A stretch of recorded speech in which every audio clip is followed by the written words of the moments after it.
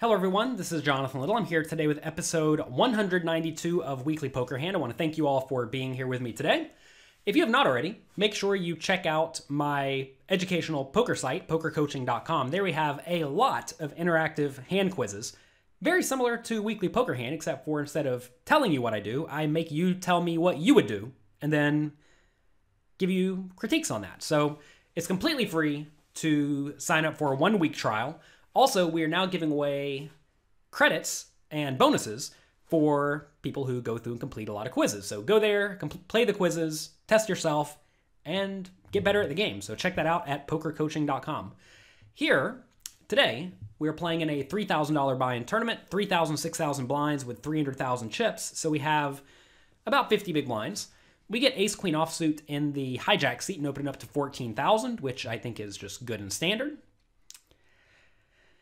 And then it's going to fold around to someone who I, I, have labeled as a kid in the big blind who calls. Now, a lot of kids are somewhat splashy, somewhat loose aggressive, but at the same time, good.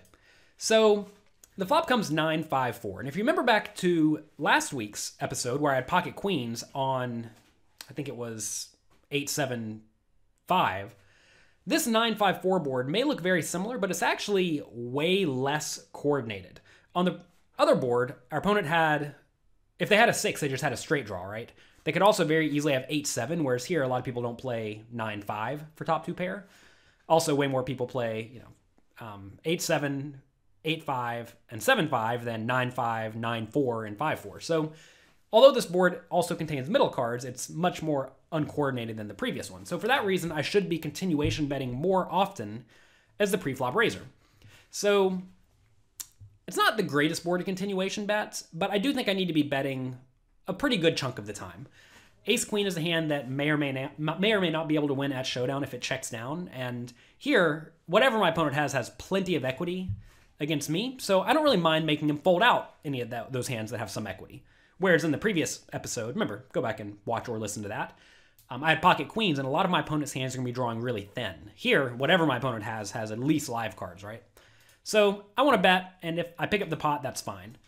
I decide to use a small bet.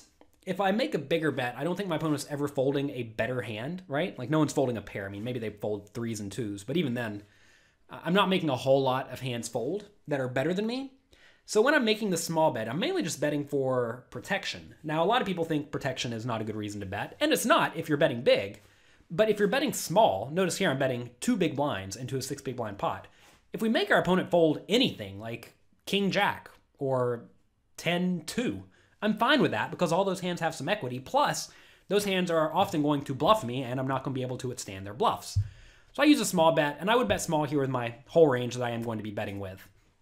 So I do bet 12, and the opponent calls. So when he calls, I don't necessarily think he has me beat or anything like that. I do think he has a reasonable range. Like, I don't think he's just going to be floating with, well, 10 2 offsuit, right? That's not so practical. But if he has any backdoor flush draw or two overcards or some sort of backdoor flush draw or anything like that, he's definitely going to call a 12,000 bet if he's good. As he should, because he's getting great pot odds. So the turn is a jack of spades. So the board is now nine of spades, five of clubs, four of diamonds, jack of spades. I have ace of spades, queen of hearts, and my opponent checks. Now I have to ask myself, if I bet again, can I start to make my opponent fold out some nines fives, or fours. Obviously, no one's going to fold a jack, but I'm not so worried about the jack because some people do fold in hands like jack 10 on the flop, although they should probably float with that too. So, if we bet, can we make our opponent fold nines, fives, or fours? Not necessarily only on the turn, but also with the river bets. When I do bet here, I am certainly planning to continue barreling. I'm not just betting one time and being done with it. So, let's see if we go for it. I do think this is a fine spot to barrel, by the way. So pot's 59,000. I bet 28,000 for half pot. And when I make this bet, I can pretty much tell you I'm going to be betting something like 80,000 on a lot of rivers, trying to get the opponent to fold out a lot of hands. And I would do this exact same play with a hand like a jack or an overpair or a set. And taking this line is just generally going to put your opponent in a pretty nasty spot with a lot of his range because most of his range should be a 9 or worse. Whereas my range, when I go bet, bet, bet, should be something like a good nine or better. And if you look at those two ranges, my I have a very big range advantage. And here, my opponent really shouldn't have a whole lot of nut hands because a lot of people three bet jacks pre-flop. Some people three bet nines. I mean, some people three bet fives and fours. So I'm not so worried about my opponent having a really strong range here. Whenever you have the range advantage and also have more premium hands in your range, that's a great spot to bet frequently, which kind of implies you're betting with a lot of bluffs. Now, this ace queen may be good enough just to check down. And you do want to find some hands you want to check down with. But in this spot, I would be checking down mostly with my weak nines, like 9 6 suited if I opened it. And then stuff like ace 5, ace 4, pocket sixes, etc.